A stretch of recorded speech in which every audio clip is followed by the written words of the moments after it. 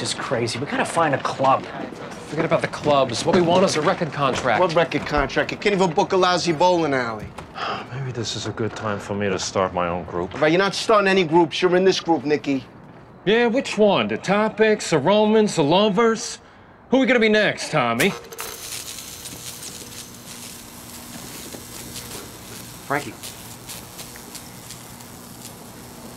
What?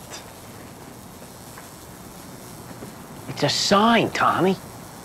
Ooh. Still like the four felons.